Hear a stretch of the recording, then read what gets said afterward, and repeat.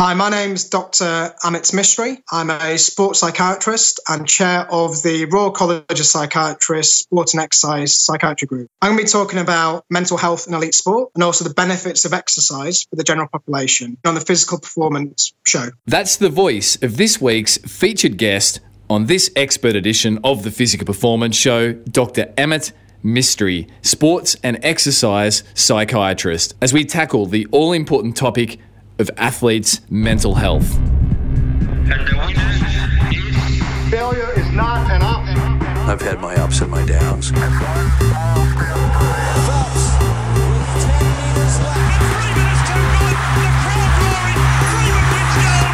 I think it's an absolutely breakthrough experience. Welcome to the Physical Performance Show, the show designed to inspire the pursuit of your physical best performance. I'm your host, Brad Beer. Listen in as we delve into how the world's top physical performers achieve their success, as well as the highs, the lows, and the journey of getting there. Let's get ready, set, let's go.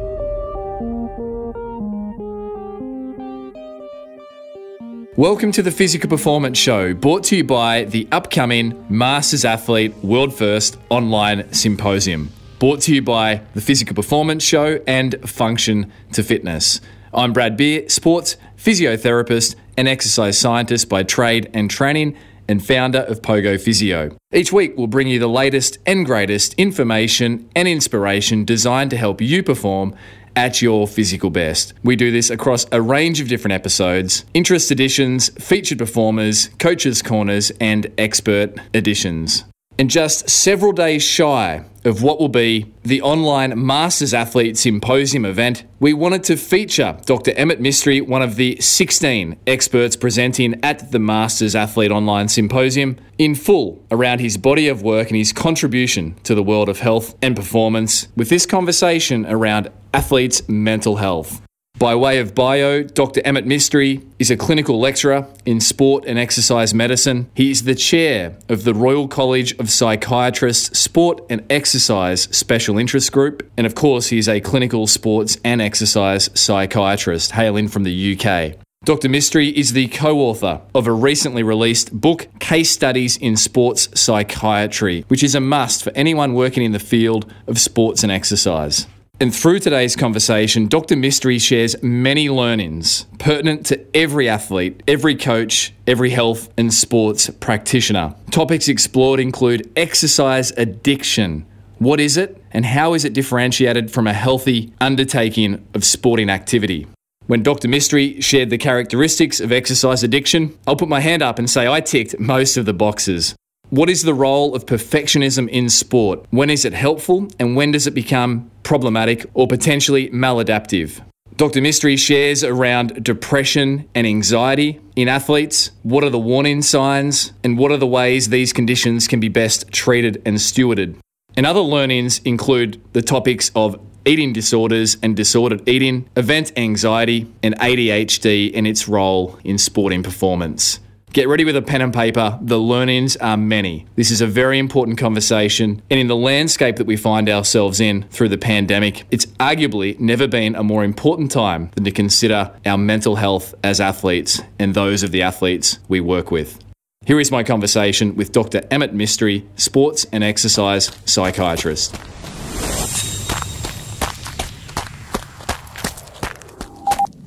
Dr. Emmett Mistry, this for me, as the host of the show, is very exciting. Uh, someone with your expertise, uh, I think, has been missing from the show for some time. So, welcome to the Physical Performance Show. Thank you. Dr. Emmett Mistry, UK based, recently co authored a, a, clinical case studies book uh, on. Uh, on sports psychiatry, case studies in sports psychiatry with a few of your, your colleagues. But can you bring listeners uh, into the into the fold of your world clinically, and, and, and how did you end up in this fairly unique field of sports psychiatry? So, uh, thank you for inviting me. Um, so, sports psychiatry is a relatively novel uh, specialty, so it's still within its infancy. So, um, in the last five years, I'd say there's been much more awareness of the um, elite athletes' mental health needs, which um, you could say are typical to the general population in terms of the typical stresses that we have. Um, but athletes also have some unique sport specific stresses, which um, we've got better at recognizing, and we're starting to understand that a little bit better. So, sports psychiatry is, if we were to put it in a nutshell in terms of what we do in the UK as a group, we have a, a two, I'd say, two principal aims. Uh, one of them is advocating for moderate levels of safe exercise for severe mental illness. On the flip side, the other aspect is optimizing mental health for elite athletes. So there is an overlap in those interests, and they're kind of opposite sides of the spectrum in terms of one is I'm um, talking about underactivity, and in athletes talking about overactivity. So it's been able to recognise the differences and, how we recognise and treat that better. So two sides of the the coin, if you like, the underactivity for people that would ideally or would benefit from more exercise, and then also helping typically the I mean, it's uh, in brackets the over exercise of the elite athlete that's at the very pointy end of performance with the, as you say, unique uh, sport specific stressors that they deal with. Exactly. And Emmett, your background yourself, you grew up swimming, and in fact, you shared just prior to recording that uh, you used to swim uh, with one of the uh, the Brownlee brothers, uh, Alistair. So you grew up obviously uh, with a keen interest in in sports yourself. Yeah, I'd, I'd say. I mean, I was from a kind of atypical British Indian background. So I was probably the only Indian guy who wasn't really interested in cricket and I wasn't very good at cricket. but when it came to contact sport, uh, I really kind of enjoyed it. And over time, I got a bit better. So, um, you know, playing rugby, you know, up to kind of county, national level, uh, contact sport. So from an early age, I was always encouraged to participate in sport. And, um, you know, we know the benefits of that, whether we're talking about our own mental health, being in that social environment is, is so positive. Um, so, you know, from the grassroots level, you know, sport is, you know, overwhelmingly has those positive benefits. When we focus on elite sport mental health, it's just different pressures, which we kind of um, try and support athletes with. But from a young age, I've always been around that. So I've always been a big advocate of that. And um, that's kind of one of my interests in general psychiatry as well. So a few years ago, I felt we had to do more as psychiatrists to be advocating lifestyle interventions for our patients. And I've been quite encouraged that over the last few years, um, there's been much more um, discussions about this in terms of how do we advocate better diet, how do we advocate for you know better levels of exercise. And it was actually two physiotherapists who, who inspired me. Uh, one of them is an Aussie as well. Uh, you may know Simon Rosenbaum, and there's also Brendan Stubbs, who's in the UK.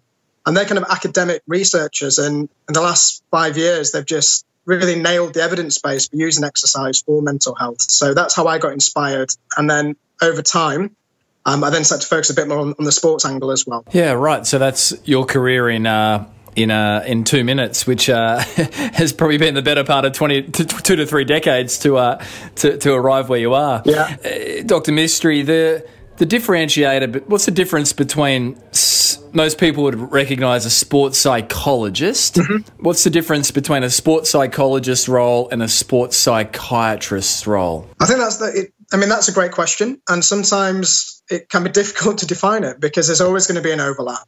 If you work in mental health um, we talk a lot about the different P's in sport at the moment. So, sports psychologists, sports, sports psychotherapists, sports psychiatrists, and there'll always be uh, an overlap. I think the, the way I distinguish it in my head is psychiatrists, we are medically trained. So, we go through you know that medical model and we focus more on risk assessment and also if it becomes um, such a level of distress for a patient, we may have to consider medication. But if you're going to prescribe medication, you need a clinician who's trained in that area and knows how to prescribe medications whilst not hindering performance. So that's the best way I look at it. If we look a little bit deeper, we can think about in terms of um, what are we um, trying to offer in terms of are we trying to optimize performance or are we there for health? Now, as a clinician and as a doctor, my primary role will always be trying to optimize health and looking after health. That's the number one principle. But we can still work along the performance models and the performance pathways. And there will be different clinicians, you know, the different P's that I mentioned who work along different parts of that. So they may focus more on performance or may, you know, ultimately just be about health. So it's a tricky question to answer, but I think from my point of view, health would always come first. And I think we do have overlapping skills that a psychologist can offer as well. Um, and there's also very specialized psychologists who are really good at the performance side. And I could never uh, pretend that I'd have expertise in that. So I think there's probably complementary roles along that pathway. To me, that intuitively makes sense. Uh, and I think that would very much speak to any questions people have as well. And you mentioned risk assessment. It might be worth going into some of the pathologies you do see. And if you find it easy to delineate between the recreational athlete and the elite athlete, by all means, uh, please do so, Emmett. But what pathologies might you be encountering? I think the the tricky thing is athletes by occupation are high level exercisers. That's that's their function, and their relationship with exercise and nutrition, by definition, if we was to look at it on paper, we would say, well, that's that's abnormal compared to the general population. So often, when we're seeing, in inverted commas, severe mental illness or mental distress in athletes, um, we've always got to remember that that's going to be atypical to what we see in the general population. So, some examples I mean, the two best examples of that are exercise and nutrition. So, if we take exercise, for example, um, I talk a lot about the exercise spectrum. And a good, a good example of that would be if we talk about the general population, when I work in an eating disorders clinic, the common presentation for somebody who may have problems with their um, body image and their eating habits and their exercise levels is when I was younger, I was bullied, um, I had poor self esteem, I was overweight, and I needed to get healthy. So I then start exercising as a healthy motivator. I start enjoying it. I get that endorphin rush. I get positive uh, feedback. So I, it's, it's a positive loop. I keep doing it. Now, when that gets problematic is when we then start using that to challenge and deal with emotional trauma. And it becomes more than just a healthy hobby. It starts becoming very regimented, uh, very rigid regimes. There's less flexibility. We're no longer attending social events because we're so concerned about how this is going to impact on our exercise regime. And then we start picking up the injuries. So it's no longer just having fun. So if you're a runner, you know, we talk about plantar fasciitis, Achilles tendonitis, all these injuries, they go from localized to systemic. So we're now talking about a bigger problem, which is very regimented. We're training when we shouldn't be. So we're injured. We're feeling guilty um, if we're not training. There's huge disruptions to our kind of daily function. And we're picking up these systemic injuries. So often in sport, we talk about REDS. So that's relative energy deficiency in sport. And we're talking about osteopenia, so thinning of the bones, all the way to a full blown osteoporosis. In females, we're talking about amenorrhea, so loss of the periods. In men, loss of libido. And so it's a real kind of spectrum and it can be quite insidious. And anybody who works in sport can probably relate to that. And if we compete in sport ourselves, a lot of us can say, well, actually, I can see how that happens. And when we talk about exercise addiction, it is akin to a, a drug addiction. We're talking about you know, that salience, tolerance. We're no longer exercising for the rush. We're exercising because we're fearful of the withdrawal symptoms. If I don't exercise, I'm going to get, you know, fidgety. I'm going to get depressed. I'm going to get anxious. And, and that's what we tend to see. So that's the kind of spectrum that I, tend to discuss with people. And um, elite athletes will, by function of being high level exercisers, will have an odd relationship with exercise. So if they go through a trauma, if they get deselected, if they get injured, they can use exercise as a, a maladaptive coping mechanism. And that's sometimes the problems that we see with kind of eating disorders and also exercise addiction. I was just taking notes there, and um, I guess a question that pops out is the characteristics you described there, Emmett uh, regimented, rigid, uh, training when shouldn't, feeling guilty, social network sometimes, uh, you know, suffering. Uh, it, it, it, with tongue in cheek, but it, it felt like a uh, characteristic list of many, if not most, endurance athletes that I can think of. I've often thought, even with my own journey over the years, with my own recreational sporting pursuits, what's the difference between being committed and dedicated and disciplined to being, you know, as you say, contributing to potential pathology and you said if I'm if I'm uh, if I got it right that the difference is one you're you're not no longer exercising for the for the rush but you're fearful of the effects of withdrawal. Yeah, yeah. Gosh, that's challenging. I think it's it's a great.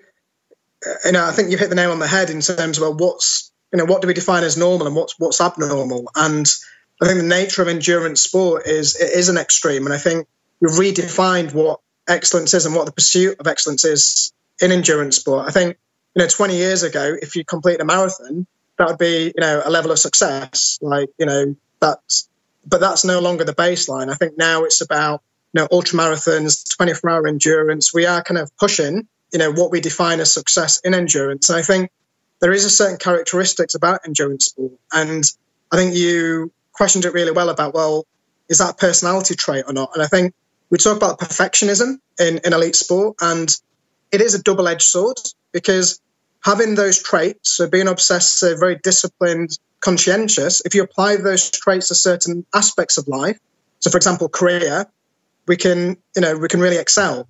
The difficulty happens is when we get very objective and very prescriptive and quantify, you know, when it comes to ex- exercise and nutrition, that's when the problems tend to occur. And that's what we often see in eating disorders in, in sport. Because on the one hand, those certain traits can really make you excel as an athlete.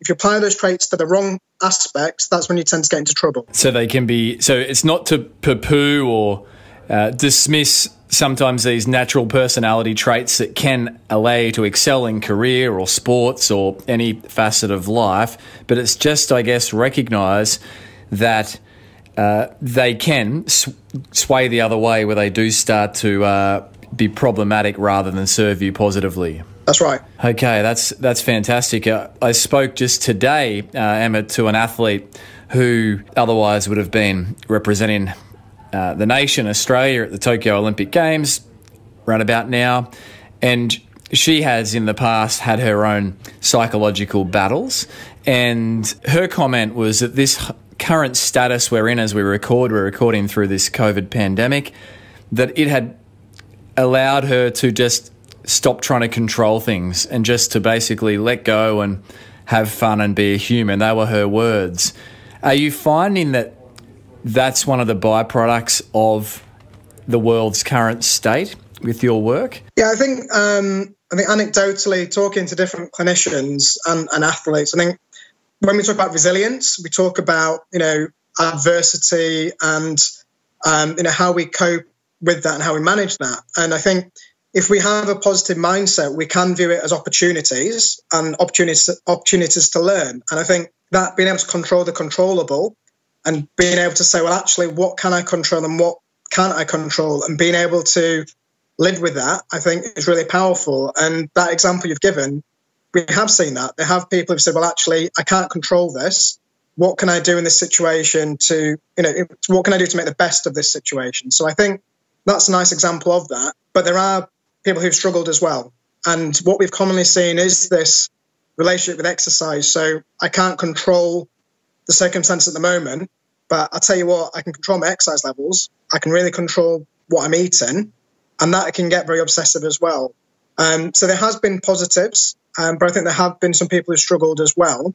The, the benefits of sport is that because of the nature of sport, traveling, touring, um, busy um, like schedules, they're already used like remote consulting. So actually, um, having the team support, being able to speak to clinicians, um, you know, remotely has been quite helpful for them. Yeah, so interesting. And then you must see the other end of the spectrum where not being able to control this situation has possibly thrown people further off centre and perhaps exacerbated mental illness. Maybe it's brought it to the fore, or it's actually, if you like, flared someone up. Maybe not the right terms. Yeah, I think I think that's I mean issue. I mean we, we all cope in, in our own ways, and I think um, you know that that can happen as well. And you use the the, the the R word, the resilience term. Would you say that's something that can be it's a difficult question, but the percentage of that being a natural attribute or personality trait versus trainable. What's, as a sports psychiatrist, as a trained medical psychiatrist, what's your, view on this resilience? It's, it's obviously a buzzword, but on this trait, resilience, trainable or not? Yeah, I think it's quite, um, it is quite contentious issue because, you know, you could argue some people just born with it my personal view is that we can all develop, we can all pick up skills, and we talk a lot about the athlete mindset. My personal view is I don't think we can use resilience as a blanket tool. I don't think it's beneficial just going somewhere and saying, look, I'm doing a workshop about resilience, and, and that's that. I think we have to personalize it to people's situations. I think particularly around their kind of social environment and being able to pick out what's worked for them before. What have you got in your own kind of, you know, who are your personal contacts? Um, who do you go to for support? Um, I think that can be really helpful. I think there is a certain buy-in. I think if you have somebody in front of you who is high functioning and you can work on, you know, their focus, their self-confidence, what their uh, social support is, controlling the controls, that is part of that resilience toolkit. And if that works, that's great. But sometimes you may come across somebody who is just not amenable to that at that point in time.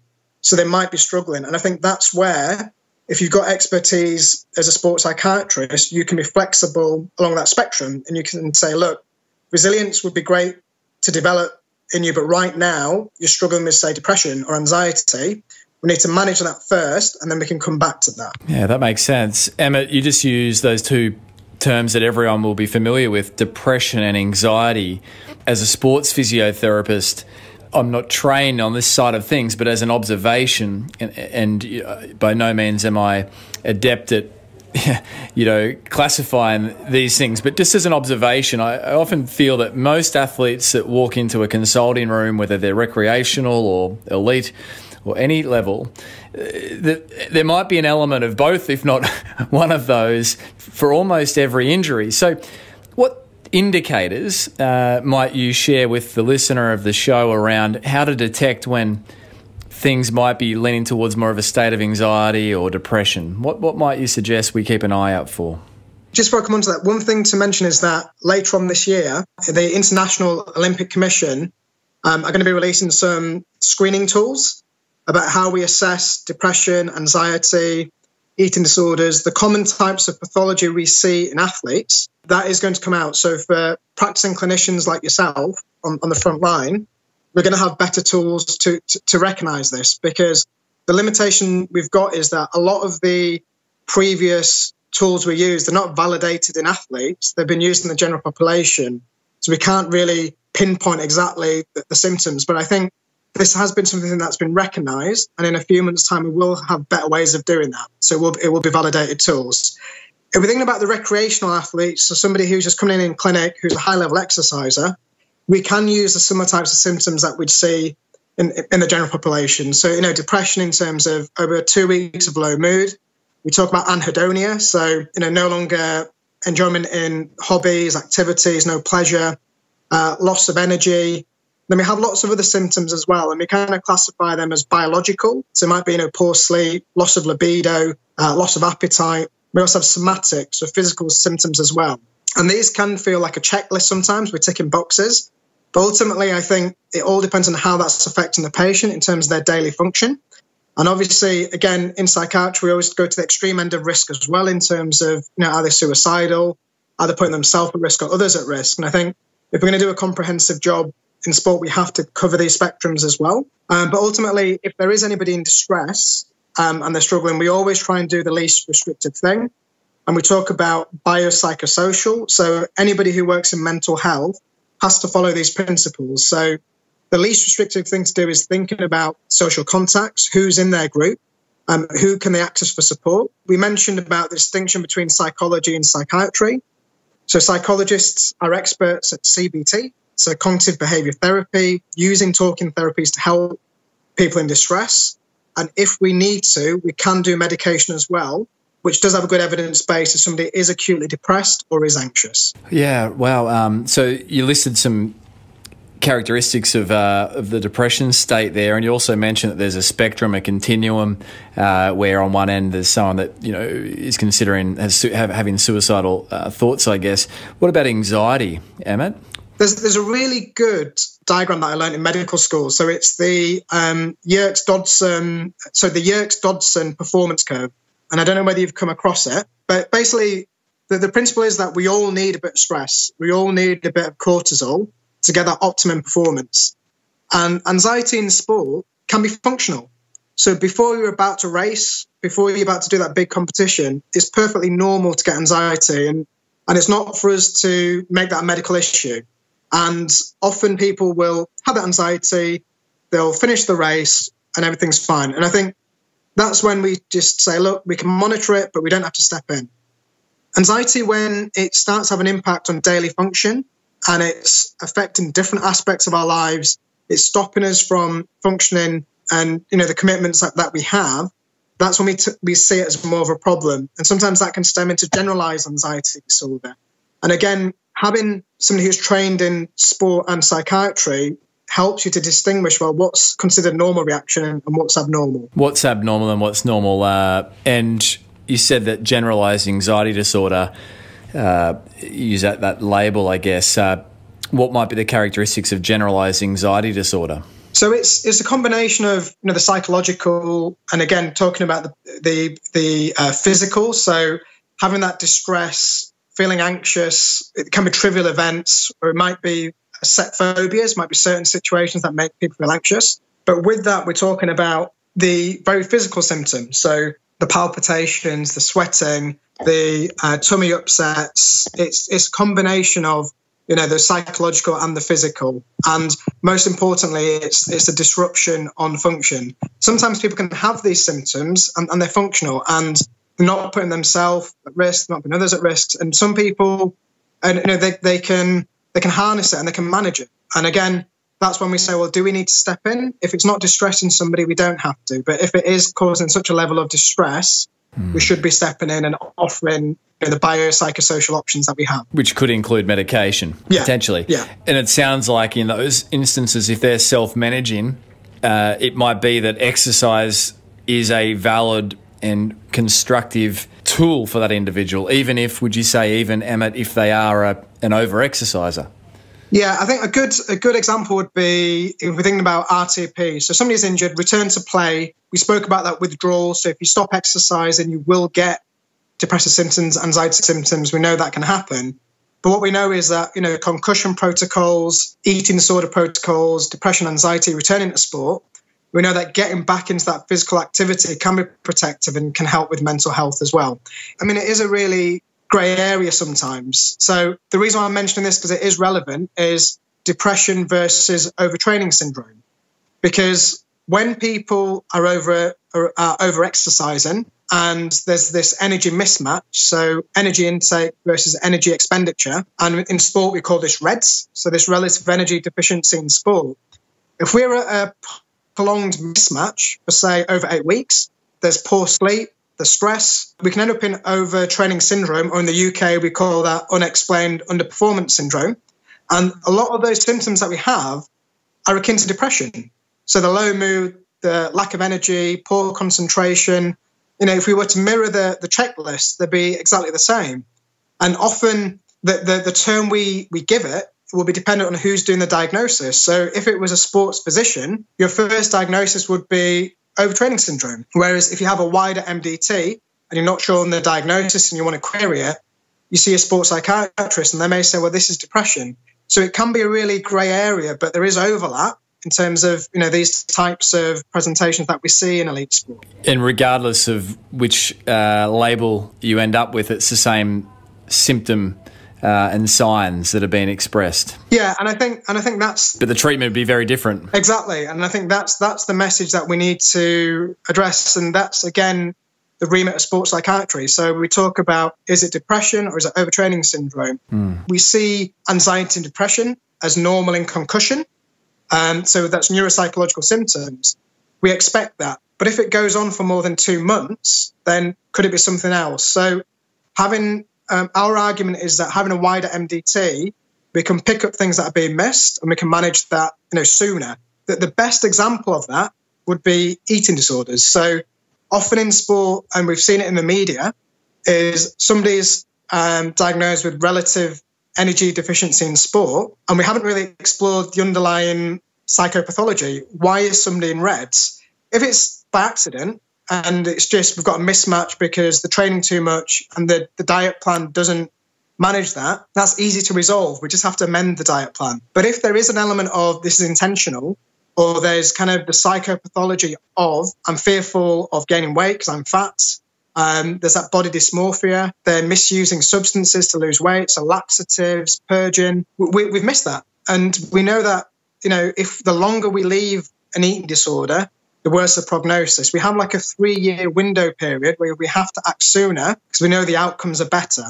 So, again, that's a really good example of when if we're unsure about a diagnosis and there should be some, you know, there may be something else going on, we need to explain further detail. Yeah, that's uh, that's, fascinating and, and, and challenging in the same breath. Uh, and the, the, the, listener of the physical performance show, Emmett, those terms, uh, unexplained underperformance syndrome uh, versus you know overtraining, that concept isn't new, and nor is the concept obviously of relative energy deficiency in sport. And one of your UK colleagues there, Dr. Nicky Keay, sports endocrinologist, she did a great job of differentiating between intentional and unintentional yeah. low energy availability or RED-S. And it's a, quite an easy differentiator in terms of, okay, if there's patterns of intentional ways of calorie restricting or, as you say, body dysmorphia issues, then then that makes that's easy to pick up in the sense that if it's shared, but there'll be times when that's not shared, correct? Exactly. Yeah. Yeah. And I think it's a responsibility of the MDT, it's a responsibility of the team to think about how we manage that. And the best example I've seen is some of the Scandinavian countries. So from the outset, with the athlete, they have a strict contract where they say, if you engage in um, disordered eating or exercise, you know, you're over exercising, they have ways of amending the, the training. So they'll say, look, you need to take a break now because we signed this contract where you deviate from the policy. And I think that's a proactive way of trying to prevent, you know, the things we've mentioned already in terms of osteopenia, osteoporosis, and females losing their, their periods because that in itself is not that's not physiological. It's not normal. And I think it's been branded as normal. You know, it's been normalized in sport, and you know that is as you know having experts like Dr. Keay she would have said that. We know that that's not that's not right. And I think we have to be proactive from the start, and we need to prevent problems rather than it going further down the line. We're now trying to kind of correct things that should have been addressed years ago. And you mentioned that all important point that there's a three year window for uh, these things to intervene. Does that mean that beyond three years it's unsalvageable, or just that the outcomes will be different as a result of it not being uh, dealt with inside that window?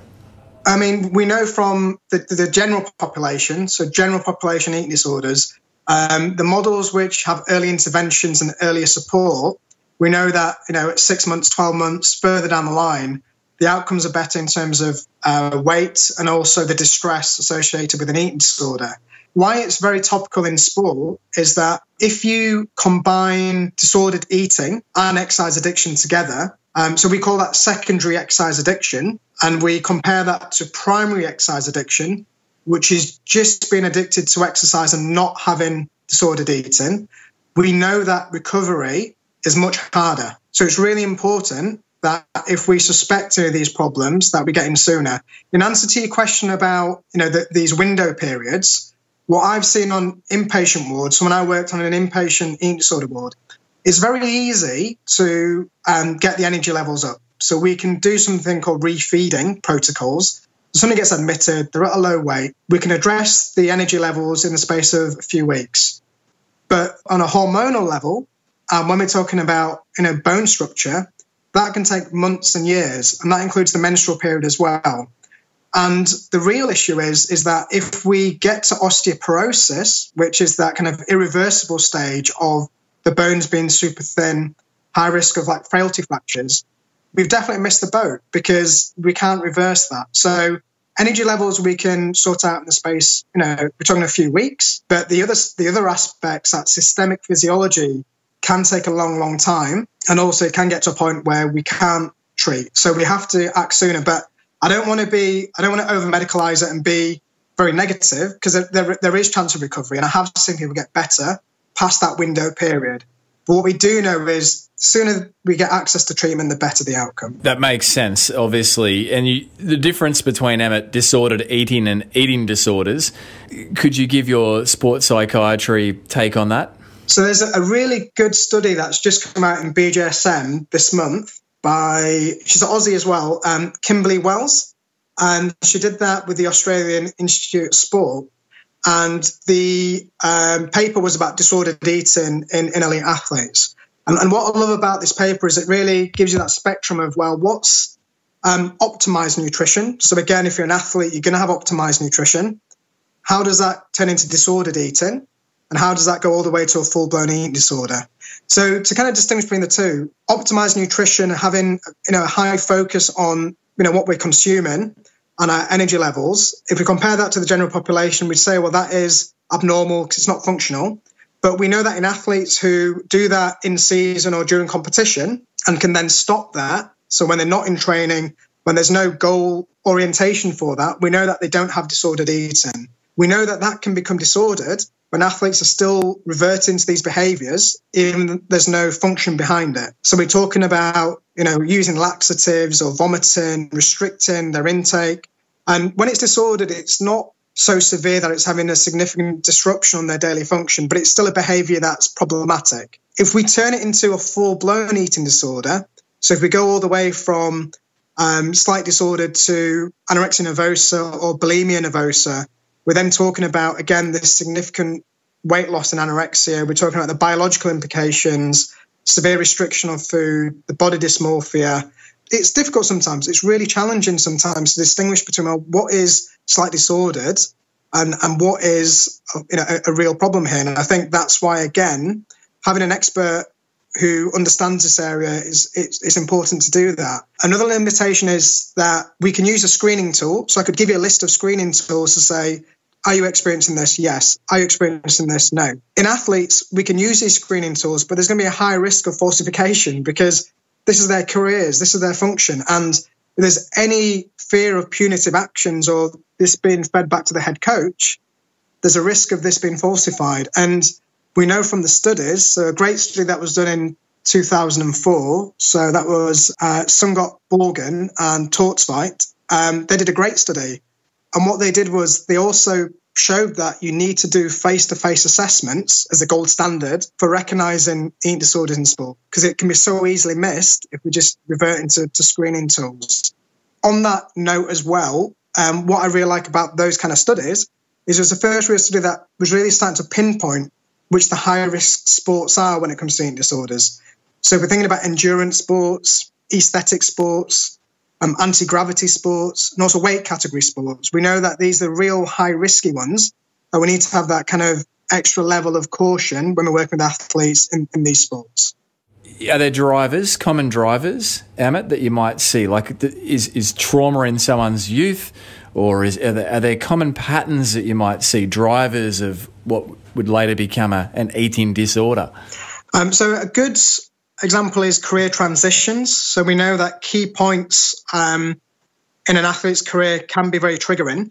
Um, again, the best examples would be injury, deselection, forced retirement, or if they're having performance issues. Because the, um, the, the irony of the situation is often athletes will say if they get deselected or they're having performance issues, they may restrict initially, and they may get faster initially because they, have lost a bit of weight and they've shaved you know a bit of time off, off their PB or, or, or they're back on track.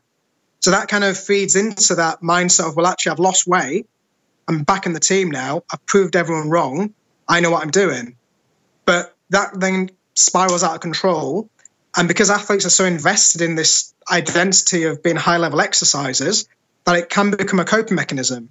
And that's what we often see. And we talk a lot about athletic identity, and when we talk about resilience, we talk a lot about, well, if we were to take away exercise out of your routine, say your identity was no longer exercise, what else have you got in that? So, what else can you do that gives you another aspect of your identity? And if we're having decompensations or psychological stress, so like the transitions that I mentioned, or even if it's a normal stress that you or I may have, so it might be financial or it might be relationships, we can revert to these behaviors because it's just maladaptive. We found it's um, it helps with our emotions, and that this is when it can become a problem as well.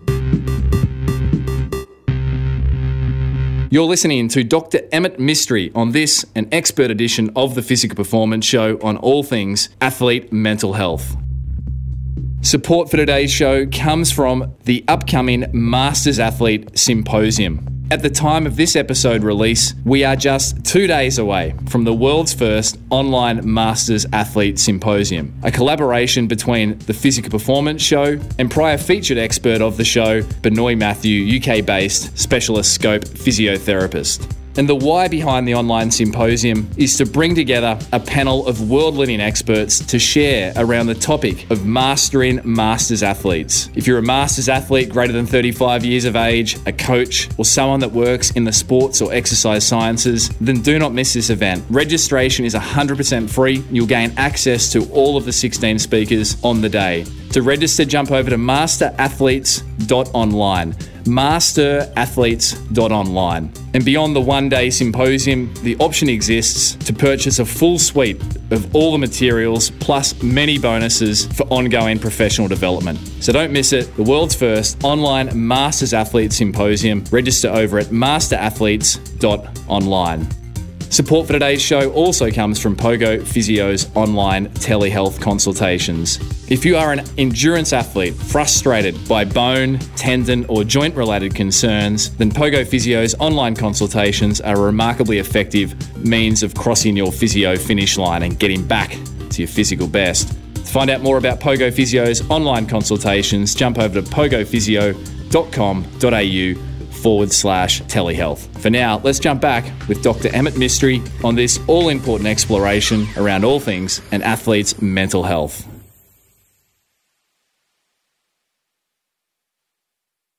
Amit, before we look at exercise as medicine uh, in a moment, just a few of these commonly sort of touted slash recognised, uh, I guess, labels. I would, it's what I would use for them. But ADHD, uh, I know there's I haven't read the, the case studies book. I haven't got a, my hands on it yet, but I, I'll be looking for that. But I think there's a case study in there about an athlete perhaps with ADHD. I mean, what is it? We hear it all the time, and how can that influence an athlete's um, selection in sport, as in even self-selecting into sport in the first place, and then their continuance through life?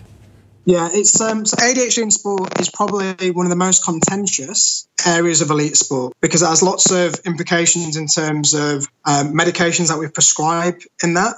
And when we were writing the book, it was probably the chapter that we had to rewrite the most because there's so many contentious views in the literature, and sometimes it, it's a minefield. It, it's so confusing. But in terms of ADHD as a neurodevelopmental disorder, we're talking about from a very young age. It has to be from childhood because that is the nature of these types of developmental conditions.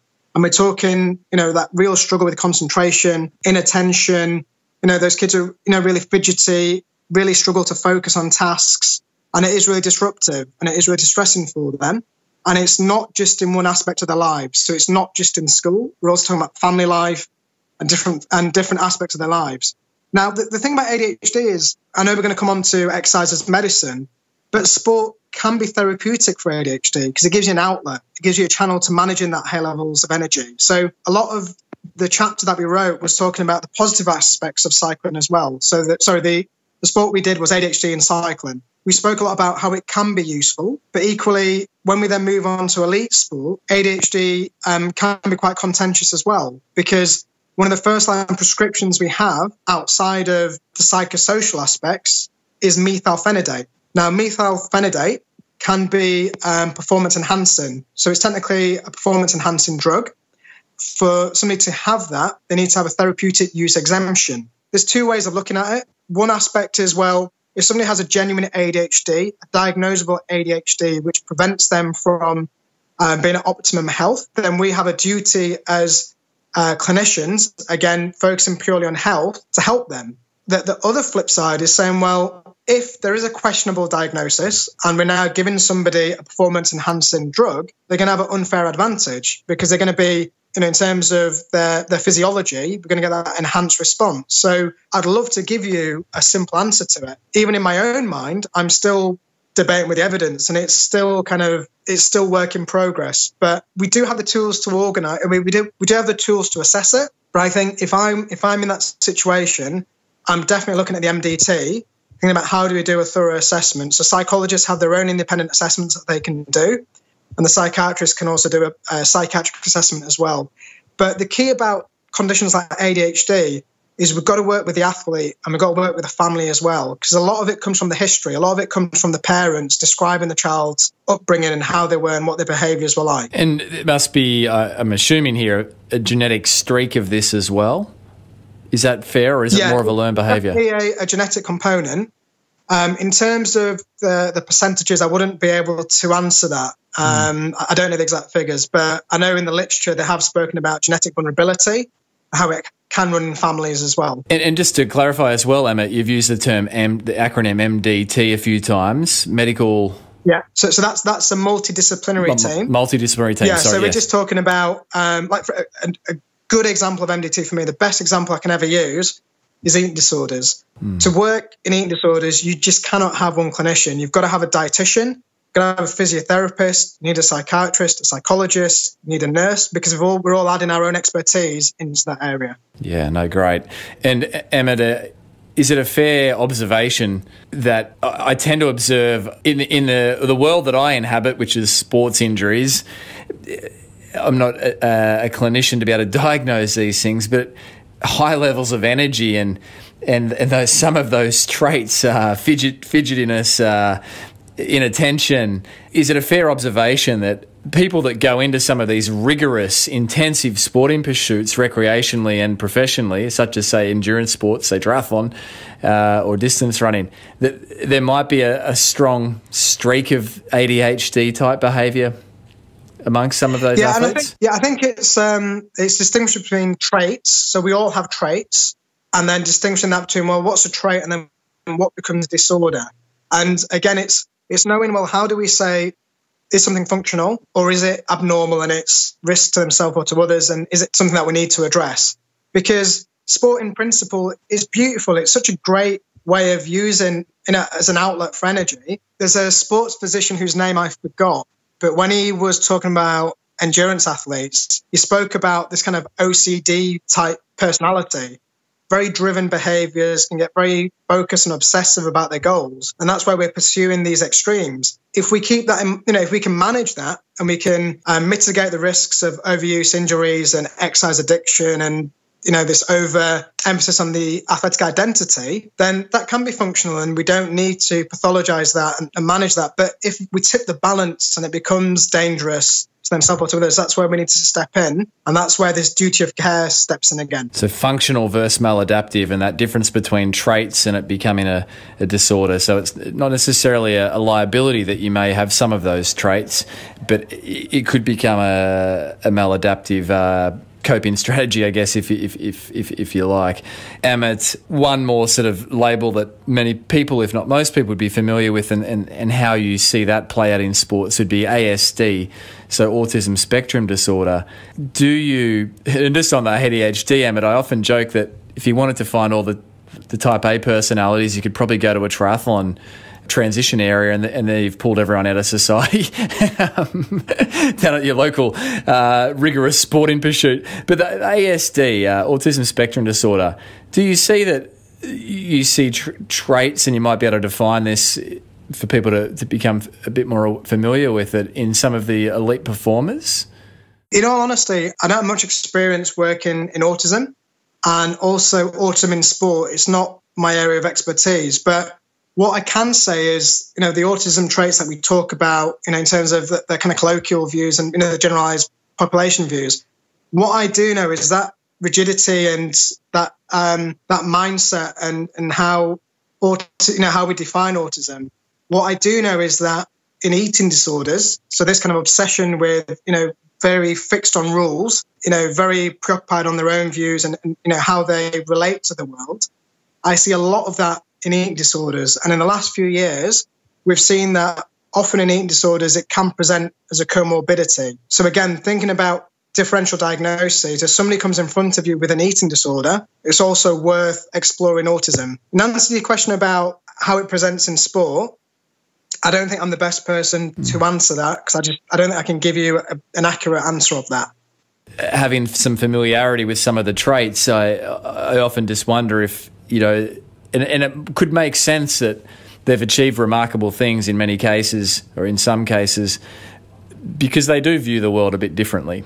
Um, and so uh, that's that's the the, the uh, underlining for my uh, for my question there, Amit. Yeah, yeah. But I think it's I think it's, it's a very valid point because that is the athlete mindset. Isn't it? You know, we talk about you know that discipline, that focus for the goal, and you know, that, I think again, if we see traits and the functionality behind them that can be viewed as a positive. If you missed last week's expert edition, it featured Canadian based researcher and physiotherapist JF Esculier, who is also one of the registered faculty speaking at this weekend's Coming Masters Athletes online symposium. And the topic of conversation on last week's expert edition was the often asked question Is running bad for our knees? Here's a little snippet of my conversation with JF Esculier typically if you tell me you know i'm running 30 kilometers a week which would be three times 10 kilometers or three times one hour during my week i'll get you to run five or six times during your week instead.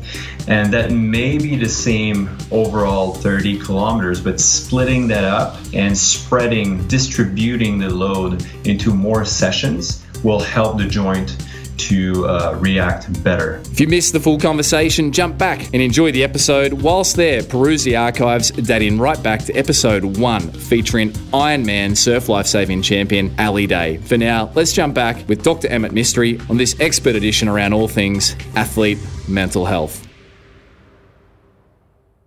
Amit, exercise as medicine, as you started this this conversation outlining that one of your roles is advocating for enhanced levels of exercise uh, for mental health. So, how can exercise be medicine, if you like, or, or how, what's the mechanism by which it can be a, a positive force for psycholo- mental, with mental health? Going down the lines of biopsychosocial, in terms of holistic principles, um, exercise is probably one of the most robust antidepressants that we've got. The evidence base is so strong, and I made reference to some names before. Another name to add to that would be a Brazilian researcher called Felipe Schuch.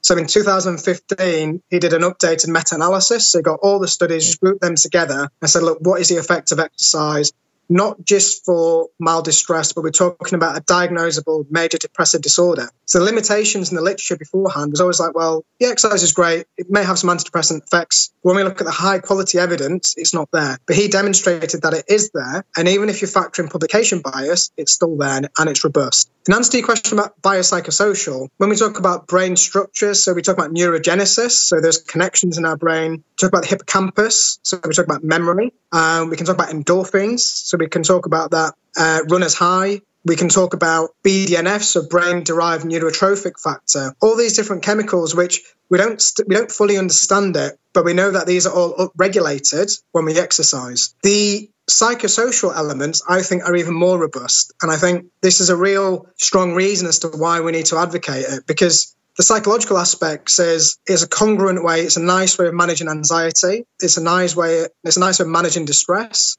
It's a good use for self-esteem. Uh, self uh, self-esteem. It's a nice distraction technique and socially. So we know for older adults as well, being in group formats and exercising is a great way of bonding and it can help with depression as well. So if we were to compare it to medication, if we if we could bottle it up, it would be it would be it would be a wonder drug.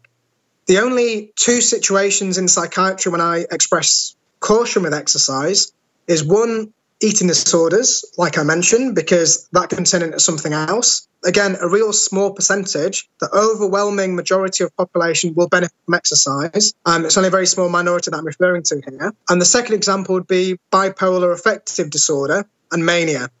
And what we know is that patients who report mania, when they're doing extreme forms of exercise or high frequency exercise, they can have more manic symptoms as well. Now, the difficulty here is that correlation, so these symptoms that they're describing, is not causation. It doesn't necessarily mean that the exercise is causing mania, but it's very difficult to distinguish. And again, I can't give you a definitive answer on it. But what I can say, those are the two situations where I just have a bit more caution uh, when it comes to advocating exercise for mental health.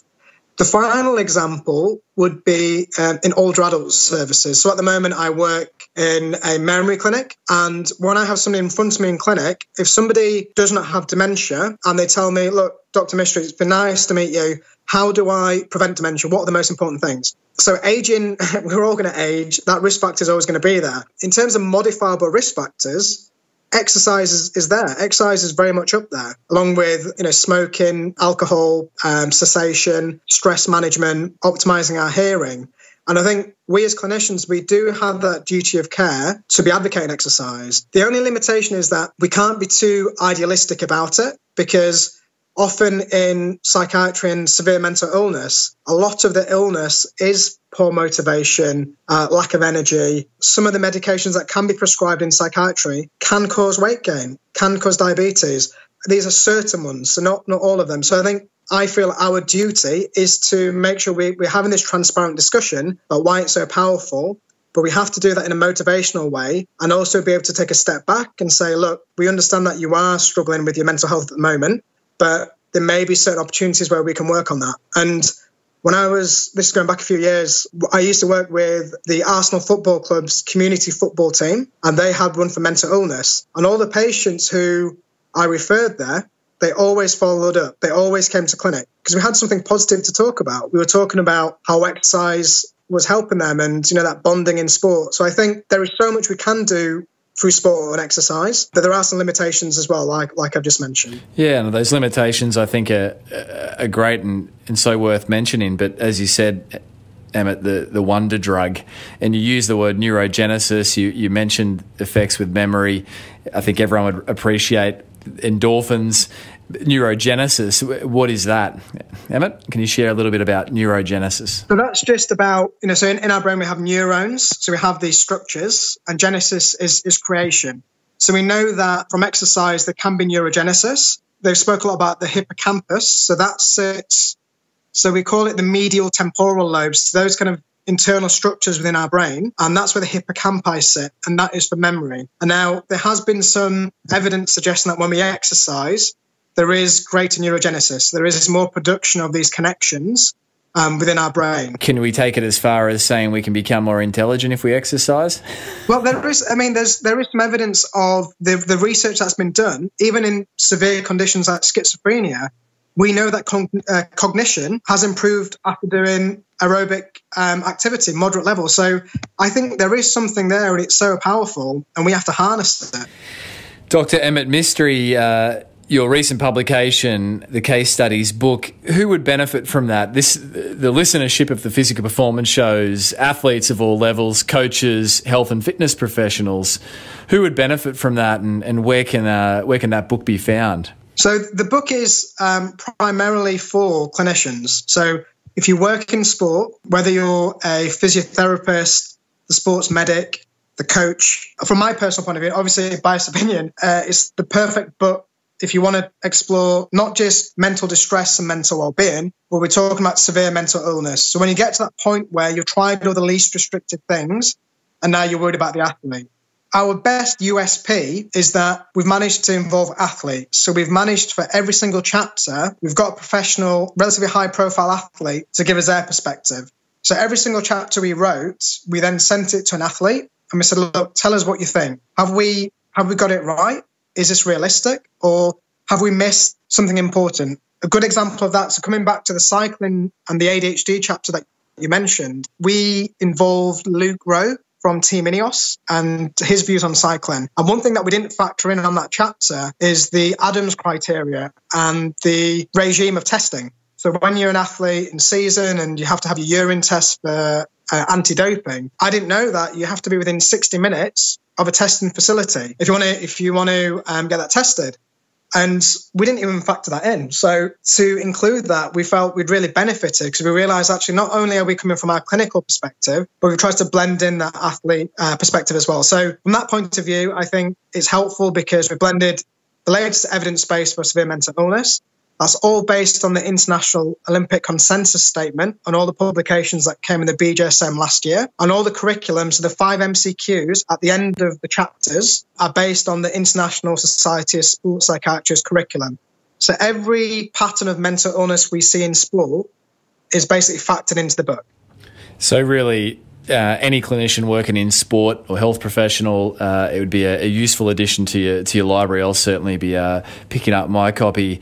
Uh, Amit, Amit, every guest of the Physica Performance Show uh, issues a physical challenge to the listeners for the week. So, what is Dr. Amit Mistry's physical challenge going to be for the week?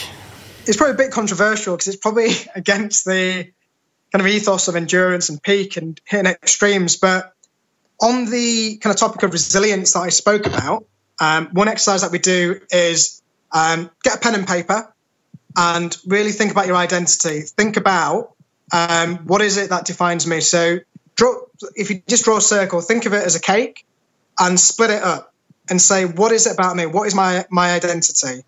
If you find that a huge chunk of that is exercise, there is a potential problem there, and you need to think about well, what else can I replace? So, say if I can't exercise or I get injured, what else can I do? So, my challenge is to do that exercise. And if you think that exercise is taking a huge chunk of that, next week, drop a session of your exercise and do something else. Might be meditation, might be spending time with family, might be picking up a new hobby. Just do something a little bit different so that you've got a bit more of a, a resilience toolkit. So you've got something else that you can focus on. We might call this the Dr. Amit Mistry's Cake Identity Challenge. Uh, I just did my cake as you said that, Amit, and uh, I might need to uh, hang on this conversation with you and get a consult. I think. so I'm I'm gonna I'm gonna take that challenge on. Yeah, excellent. Well, I think that's it. I think this is it. Those who work in sport, we are at risk of this as well because we are around those environments, and uh, that's in the literature as well. So I think having that insight on ourselves can be quite powerful. And, and just on the on the cake uh, there, Doctor Mistry, if it's you say if it's a fair chunk. Uh, a fair chunk's going to be different for everyone, I guess. Subjective. Uh, Yeah. what, what are we looking for? A quarter of that cake or a half of the cake? I mean, I know it's, it's subjective, it's, but but what would you suggest? Yeah, I think again, I'm going to come back to it again. All about function. So, are- you exercising so much that it's having a function in your daily life? And I'd love to give you know a, a start or a percentage of that. And I don't think it'd be fair for me to do that. I think thinking about what else you could do, and it's going to be subjective. Um, it's, it's entirely up to the person doing it. Yeah, and no, I look, uh, appreciate that. Uh, and finally, Dr. Mistry, every uh, guest of the show also boils down their learnings to date. We say this show's about the highs, lows, and learnings, uh, this being an expert edition, of course. Uh, what would your single piece of advice be to the listeners of the show out there looking to pursue and be their own physical best uh, in terms of them doing so? One piece of advice, what would it be? My piece of advice would be respect spectrums because we all we all sit on them and sometimes they can be insidious. So if we're going to boil it down, I'd say exercise and nutrition. So be careful of our identities and how we relate ourselves to exercise and nutrition and try and keep it in moderation. And if you feel that you are becoming too invested in the exercise identity, work on something else. Spread it out so that you've got different interests as well. So it's kind of enmeshed with the physical challenge for the week, isn't it? Yeah, yeah. respect spectrums. Dr. Amit Mistry, you're active over on Instagram and Twitter. Where can uh, people follow follow your output? Yeah, so I'm on Instagram, Twitter, so it's at Doctor, so DR and then A Mistry Psych, so all one word, Doctor A Mistry Psych. Uh, I'm on LinkedIn as well, so that's just my name. I'm more than happy to be contacted. Um, just just drop me a line. Absolute fantastic contribution to the show, Dr. Mistry, and I do recommend everyone follow along. Uh, this is an area that we all need uh, upskilling around. Clinician or, or, or athlete or coach or anyone interested in this field.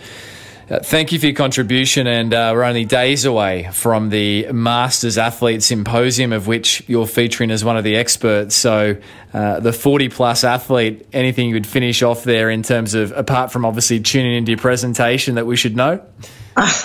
Well, again, Masters Athlete, similar to the athlete literature, it's still a novel area in terms of evidence base. And on the talk that I give, if I like remember rightly, I did say that the evidence base is even less developed um, in Masters athletes. Uh, it's just not prioritized. But what I do know is that in Masters athletes, that relationship with exercise does change from what I've heard in terms of it's, it's less about quantity, but it's more about the quality of the exercise, just enjoying the exercise, knowing that I'm still able to exercise. So there is that different relationship there. So if you are interested in that, I will be commenting on that, on that, on that symposium. Yeah, Masters Athlete Online Symposium. Dr. Mistry, thank you once again. Fantastic. Thank you for having me.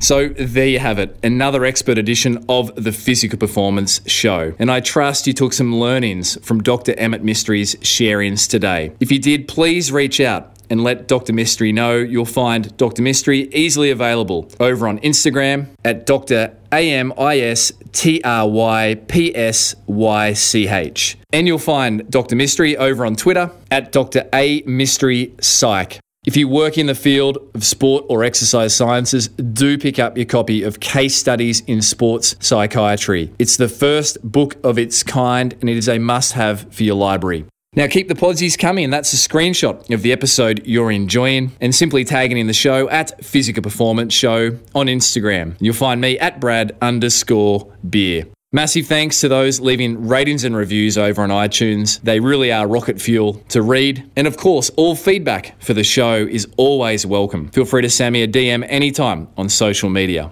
Massive thanks to the great folk who make the show possible each and every week Daryl Misson, our audio engineer, Susan Wilkin on all things show administration, Matthew Waldin, all things show graphic design, and Lily Burden, all things social media and behind the scenes.